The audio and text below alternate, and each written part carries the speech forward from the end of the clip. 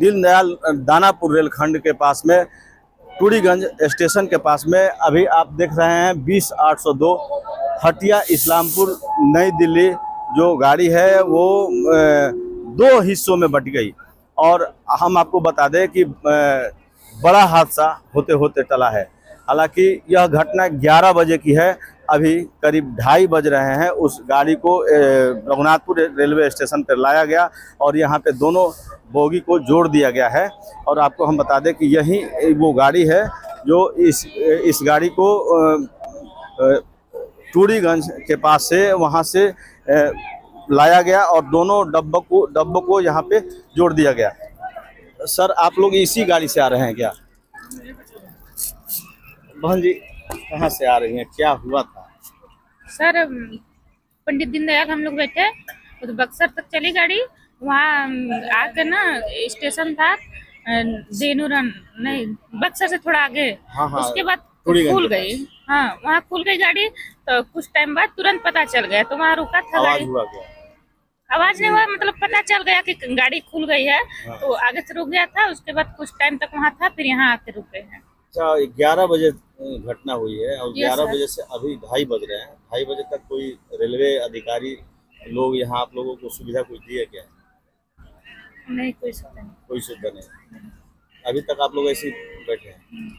कहाँ से आ रहे हैं पंडित दीनदयाल से। क्या नाम है? राधिका सर आप लोग बता सकते हैं क्या हुआ था? हाँ?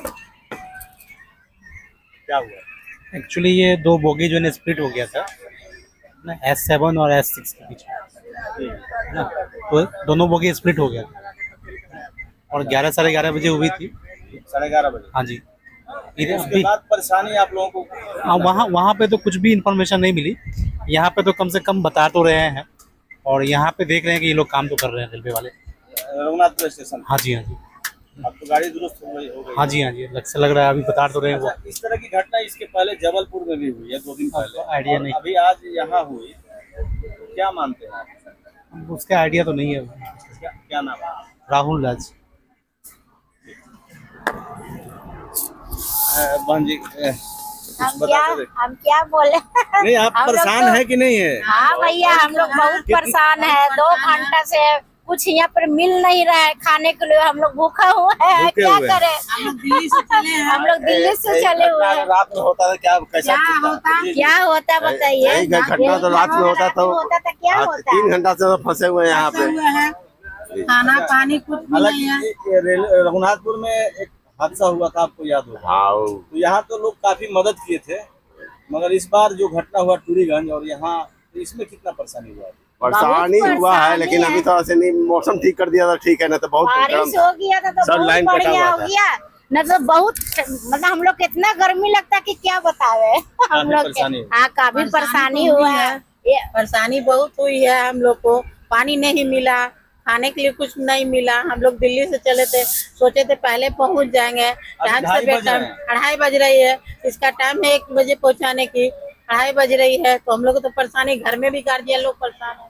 सब लोग परेशान। सब लोग परेशान है बच्चे लोग भी परेशान है। बच्चे लोग बाहर रहते हैं मम्मी अभी नहीं पहुँची घर। सब लोग परेशान है तो अन्नपूर्णा देवी। देखिए यहाँ पे लोग काफ़ी परेशान हैं। हालाँकि रेलवे जो रेलवे के तरफ़ से या आम जनता यहाँ पे अभी तक कोई मदद, लोग भूखे प्यासे बैठे हैं, मदद को नहीं आगे आए हैं। टूरीगंज से इस ट्रेन को रघुनाथपुर में लाया गया और इस दोनों डब्बे को आपको हम दिखाना चाहेंगे। देखिए, अभी वो दुरुस्त किया जा रहा है ट्रेन का डब्बा। ये दोनों ट्रेन के डब्बे को यहाँ पे ज्वाइंट किया गया और हम आपको बता दें कि बक्सर ज़िले के टूरीगंज में ये हादसा हुआ था। हालाँकि संयोग अच्छा रहा कि कोई हताहत की सूचना नहीं है और अभी इस ट्रेन को दुरुस्त करके यहाँ से रवाना किया जाएगा। सर सर अभी यहाँ अधिकारी भी, रेलवे के अधिकारी भी पहुँचे हुए हैं और बक्सर से पंजाब केसरी के लिए संजय उपाध्याय। हमसे जुड़े रहने के लिए हमारे YouTube चैनल को सब्सक्राइब करें और नई वीडियो की नोटिफिकेशन के लिए बेल आइकॉन को दबाएँ। अगर आप ये वीडियो Facebook पर देख रहे हैं तो लाइक ज़रूर करें और ज़्यादा से ज़्यादा शेयर करें धन्यवाद